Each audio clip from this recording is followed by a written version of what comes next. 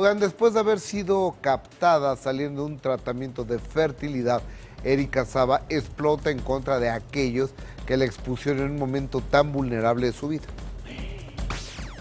¿Fue cierto o no este rumor de que te estaba sometiendo a un tratamiento in vitro para embarazarte? ¿Esto fue cierto o, no? Estoy en un tratamiento, eh, hay, diferentes tratamientos para poder ser papás. Es cierto que ahorita ya estamos pensando en eso eh, desde hace unos meses, pocos meses de febrero, marzo, dijimos ya, vamos a aplicarnos. Y desde entonces hacemos la tarea muy constantemente, ¿va? Para que todo pegue. Pero obviamente el, tanto el estrés eh, de los dos pues se ha dificultado un poco. Entonces estamos en diferentes tratamientos.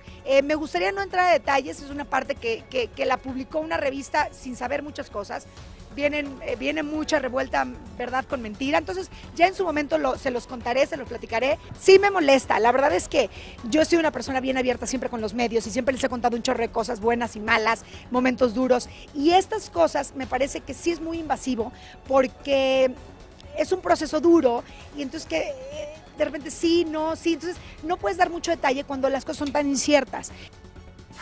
Mira, también hay que entenderlas, está diciendo, hay cosas que son inciertas, pero también, a ver, Erika, no te gusta que se metan en tu vida, no des pauta. ¿Para qué cuentas cosas de tu vida? Pues que entonces O sea- conteste, no quiero hablar del tema. No hablo del tema. Perfecto. O sea, no, no hablo del tema. Porque Erika, pues la conocemos de toda la vida, entonces, no, y, y, pa- pasamos un- otra entrevista de ella donde dice, sí, estamos haciendo la tarea todos los días. Uno, ¿qué necesidad tiene de estarse enterando cuando a qué hora te acuerdas con tu vieja? Lo que pasa es que si empiezas a contar ese tipo de cositas, eh, obviamente, pues das, das pauta, ¿no? Abres das la puerta pie, claro. a que venga la siguiente pregunta y esa pregunta ya no te va a gustar. Y que se metan a tu casa, a tu intimidad. Por supuesto. Ahora ya sabes a quién les podemos decir escenosas, a quién se les va esas palabras. A alguien así, es lo que te quiero decir. Pero bueno, De primera mano, lunes a viernes, 1 pm. Participa en Imagen Televisión.